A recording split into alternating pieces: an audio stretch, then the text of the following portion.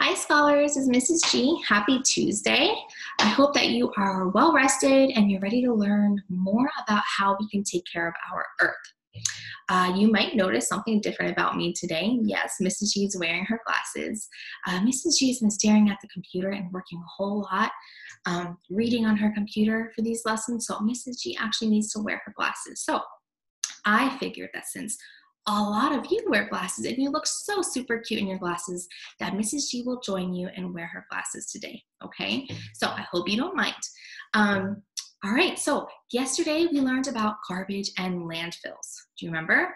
And we learned about how people on Earth creates the trash on our planet, right? And we also learned what happens to all of the things we throw away as garbage, right? Where does those garbage, where does that garbage go? Do you remember? Ends up in a landfill, right? Mm-hmm. Today, you are going to hear a read aloud about the natural resources that come from the earth.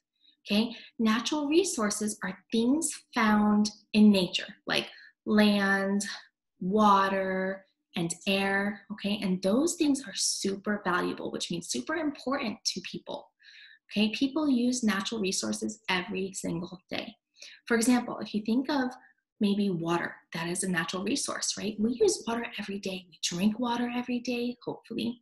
We maybe do our laundry every other day or every weekend and that takes water right? And we use water to wash dishes right? And so and other things and did you know that water is also to make medicine? So it's super important that we take care of our water right and our land and our air okay? And that is why we're talking about taking care of the earth um, in today's Read Aloud, I want you to listen carefully to find out more about natural resources and the different ways that people use them. Okay, and I also want you to remember that remember we're using our imaginations, right? So we are pretending that it's not really Mrs. G talking to you, it's Mother Earth talking to you. Okay, so we're going to use our wonderful imaginations and we're going to pretend that the earth is talking to us. That'd be really cool if actually Mother Earth could really talk to us, huh? All right, let me just scroll this up a little bit so we're here. Okay, all right, here she goes. Remember, it's Mother Earth, not Mrs. G. Earth here again. I always like to start by showing you a picture of me just to remind you how beautiful, amazing, and magnificent I am everything people need in order to live happy and healthy is right here on good old Earth. Okay, you might be able to see some continents on good old Earth, right? If you look here, you might be able to see some. See if you can point some out. See if you can remember. It's a little different angle, so it might be tough, but you can see. Okay, see the big brown area at the bottom of this picture? So right here, okay? That's North Africa. It is almost completely covered by the Sahara Desert, which is the biggest desert and one of the driest, hottest places on Earth. You won't find too many people living in the Sahara Desert, but that does not mean that nobody lives there. It is possible to live in the desert, but there are very few natural resources, like water in the desert, which makes it very difficult for people to live there. Let's talk a bit more about natural resources for a minute. Natural resources are things you can find in nature, outside, underground, underwater, or even in the sky. Natural resources are not made by people. Natural resources are part of me, good old Earth. There are two natural resources in this picture. Can you guess what they are? So Mrs. G is talking now. So when you look at this picture, there are two natural resources. Can you guess what they are? Think about that. All right, here's Mother Earth talking. I'll give you a hint.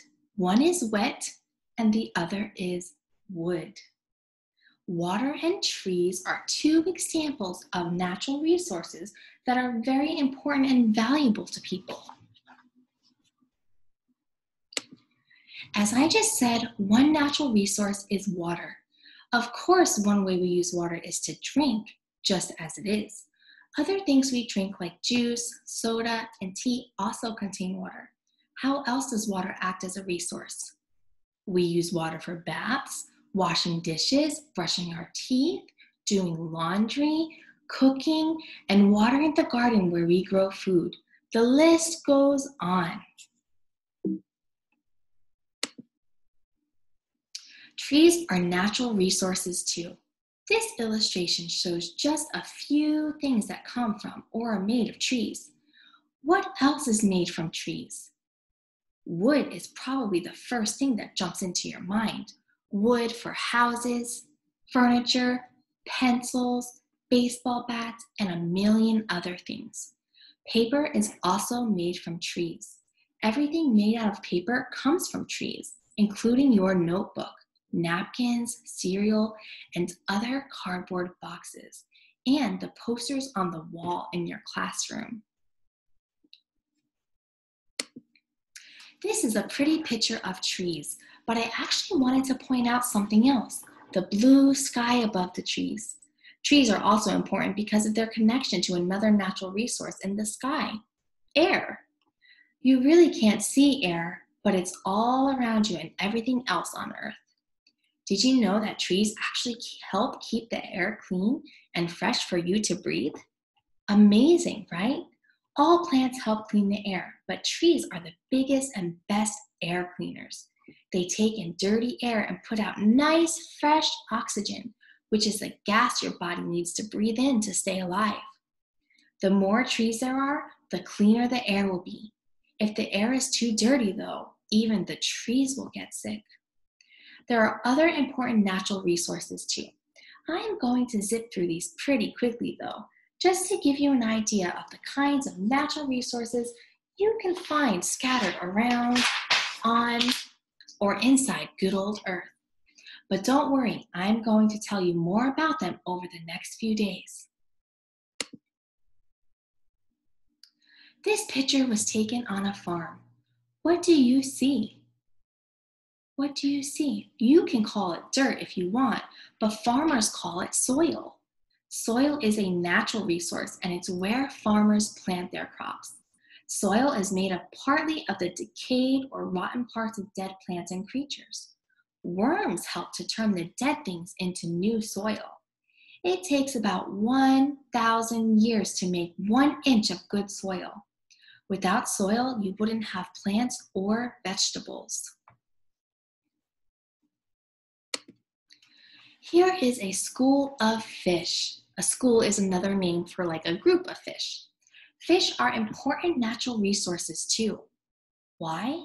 Well, because some people and animals eat them. That's why. In fact, some animals eat nothing but fish. Do you have any idea what these are? The one on the left is called coal. Mrs. G talking now. We learned about coal. Do you remember? This is coal right here on the left, coal. Okay, the one on the right is oil. Coal and oil are natural resources that come from inside the earth. Coal and oil can be used to make energy, electricity, or fuel to make cars run. So now you know what natural resources are. And I'll tell you this you people sure are clever. Do you remember that word clever? You people are sure are clever because you figured out how to turn all these natural resources like water, trees, air, and the soil on land into many things you need. Over the next several days, I'll teach you how to conserve. Conserve. Conserve means to protect or save, okay? Over the next several days, I'll teach you how to conserve these natural resources as a way to help take care of the earth.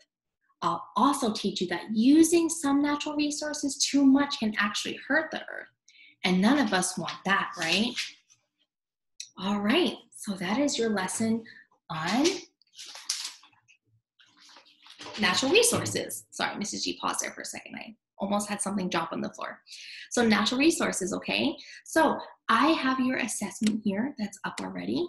Mrs. G can find it. I had it up. Yes, I did. All right, your exit ticket for this lesson for natural resources is name two natural resources that can be used to make energy and fuel.